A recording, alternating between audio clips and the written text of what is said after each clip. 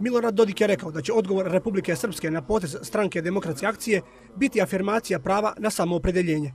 S tim u vezi, Dodik je naglasio i da nikakva nova teritorijalna organizacija Bosne i Hercegovine ne može biti predmet rasprave, kao i da Ustav BiH neće biti promijenjen. To je antiustavna djelatnost i to ugrožava mir u Bosni i Hercegovini. Stoga SNSD smatra da ukoliko se e, situacija u Bosni i Hercegovini ne bude odvijalo u smislu poštivanja izvornog Daytona, da treba primjenjivati odredbe Ustava Bosne i Hercegovine koje čine sastavni dio, to su pakt o građanskim pravama i slobodama,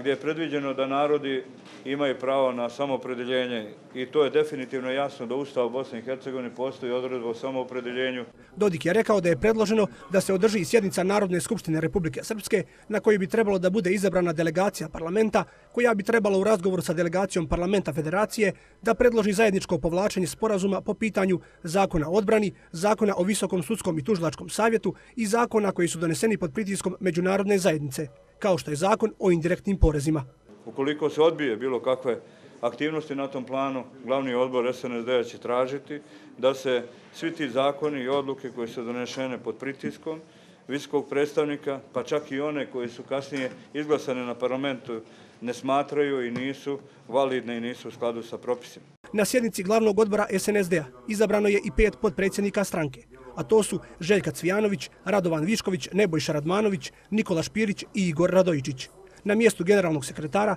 ostao je Luka Petrović.